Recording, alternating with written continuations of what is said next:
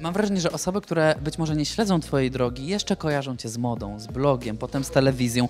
E, a gdybyś mogła powiedzieć prostymi słowami, prostszymi niż te kropki, którymi punktujesz na Instagramie, czym dokładnie się teraz zajmujesz, to właśnie co byś, jak byś to mogła nazwać? No to przede wszystkim jestem soul coachem, czyli czy soul coachką, jakby używać feminatywu. Trenerka duszy?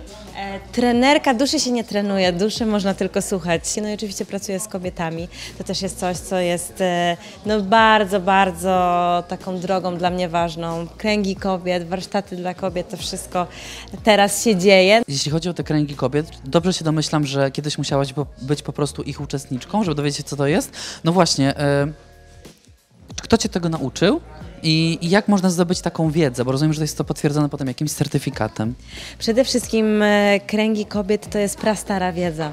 E, W Polsce jest zgromadzenie kobiet zwołujących kręgi i one uczą tego, jak to robić, natomiast e, kręgi kobiet mogą zwoływać różne kobiety. Pewnie wiele kobiet, które nas dzisiaj ogląda, nawet nie wie, że może zwołuje takie kręgi.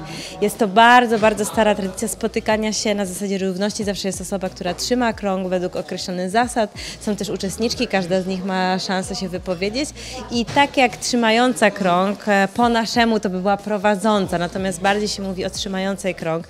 Każda jest indywidualną osobą i każda ma swój indywidualny charakter, swoje indywidualne upodobania e, i taka też ściąga konkretne uczestniczki, no to tak każdy krąg będzie troszkę inny. I to jest taka wiedza, której ja się uczyłam jeżdżąc na różne warsztaty, na różne kursy, na różne szkolenia i w ogóle trzymania przestrzeni w kręgu.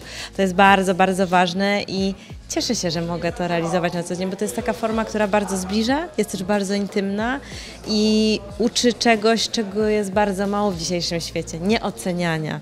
Czyli słucham, trzymam ci przestrzeń, e, ale nie oceniam cię, nie, nie zastanawiam się, czy ty dokonałaś, dokonałeś dobrych czy złych wyborów, bo oczywiście są też kręgi męskie i kręgi mieszane.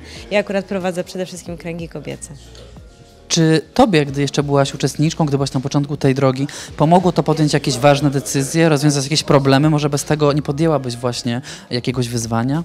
Przede wszystkim pozwoliło mi zbliżyć się do siebie, zobaczyć, co to znaczy zdrowa kobiecość, czyli zdrowa kobiecość, która wspiera, która jest solidarna, która tworzy takie poczucie wspólnoty.